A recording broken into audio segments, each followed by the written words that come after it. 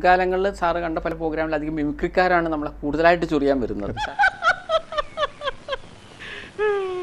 ഈ പ്രോഗ്രാം നമുക്ക് കോളമാക്കി കൊടുക്കാം. എന്നിട്ട് വേണം ഓഡിയൻസ് നമ്മളെ എടുത്തിട്ട് ഇരിക്കാൻ ഈ അടുത്ത കാലത്ത് ഹിറ്റായ എന്റെ ഒരു ഇപ്പൊ എന്റെ പത്താമത്തെ സിനിമ റിലീസ് ചെയ്യാൻ പോകുന്നു. ബ്രോ ഇതൊക്കെ എന്റെ തലയിലാവൂലോ? എല്ലാവർക്കും ഞാൻ തന്നെ ചെയ്യും. അപ്പൊ ഇതിലെ പാട്ടുകൾ ഭയങ്കര ഹിറ്റാ ഓൾറെഡി ഇങ്ങോട്ട് വിളിച്ചോണ്ടാ. അടിച്ചവന്റെ കർണക്കുട്ടി ഞാൻ പൊട്ടിക്കും. ഈ പെണ്ണ് കിട്ടിക്കഴിഞ്ഞ ജീവിതം കാലൊടിഞ്ഞ കട്ടിലാണ് മോനെ. ഒരു പാട്ടുകാരനും വേണ്ടി എന്റെ ഈണമോ വരികളോ ഞാൻ മാറ്റുന്നതല്ല. ചാട്ടം പിഴച്ചൊരു കുരങ്ങനെ പോൽ കൂട്ടം വിട്ടങ്ങ് ഓടും മോനെ. ഇതാണ് ഈ പാട്ട്. മലയാളത്തിൽ സാറ് പുപ്പുലിയാണല്ലോ. അപ്പൊ ജനങ്ങളെ മുന്നിൽ കിട്ടണമെങ്കിൽ ഒന്നുകിൽ നടനാവണം അല്ലെങ്കിൽ ഗായകനാവണം. അതിനാണോ ഈ നാട്ടുകാരുടെ മുമ്പിൽ സൂട്ടും കൂട്ടും സൂട്ടും കണ്ണടയൊക്കെ ഇട്ടിട്ട് ഇത് കംപ്ലീറ്റ് ഞാൻ വാടകയ്ക്ക് എടുത്തതാ. ഇത് ഗ്ലാസ് വാങ്ങിയപ്പോ ഇതിനോടൊപ്പം ഫ്രീ കിട്ടിയതാ. സാർ പറഞ്ഞില്ലേ ഓ നിങ്ങളുടെ സിനിമ കാണുമ്പോൾ നിലവാരത്തെക്കുറിച്ച്. സർ അങ്ങനെ ചോദിക്കുകയാണെങ്കിൽ മലയാള സിനിമയിൽ എത്രയോ നടന്മാരെ അറസ്റ്റ് ചെയ്തിട്ടുണ്ട്. മലയാളം ഫിലിം ഇൻഡസ്ട്രിയിൽ ഇന്ന നടനെ അറസ്റ്റ് ചെയ്തു ഇന്ന നടി അത് ചെയ്യുന്ന പറയുമ്പോൾ സന്തോഷ് പണ്ഡിറ്റ് ചെയ്യുന്നതിനെക്കാട്ടി മാനക്കേട് അതാണ് സർ.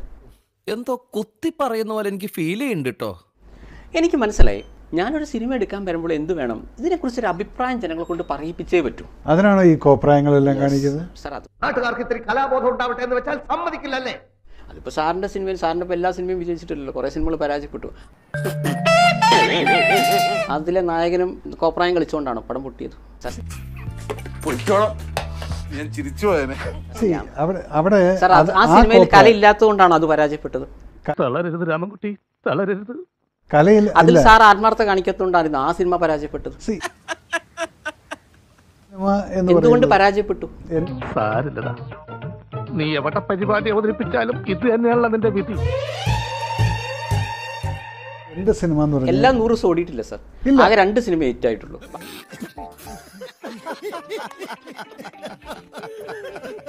ബാക്കിയെല്ലാം പരാജയപ്പെട്ടാണ്.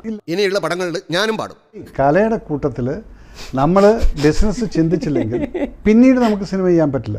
നിർമ്മാതാവ് ആത്മഹത്യ. അതോടെ പിന്നാലെ രണ്ടാമത്തെ സിനിമ അത് തരില്ല. തന്നെ വയറ് നിറച്ച് കിട്ടിയില്ലേ? അല്ല. സന്തോഷിന്റെ ആദ്യത്തെ കാരണം ആദ്യ സിനിമയുടെ പ്രതീക്ഷ നമുക്ക് രണ്ടുപേർക്കും നിലനിർത്താൻ പറ്റിയിട്ടില്ല. ഇല്ല. കപ്പൽ തിന്ന സ്രാവിനെ നോക്കി തുപ്പൽ തിന്ന പരമീന് വാ വിളിച്ചിട്ട് കാര്യമില്ല. എന്റെ ശരീരത്തിൽ ഒരു രോമം നീ പിഴുതാ.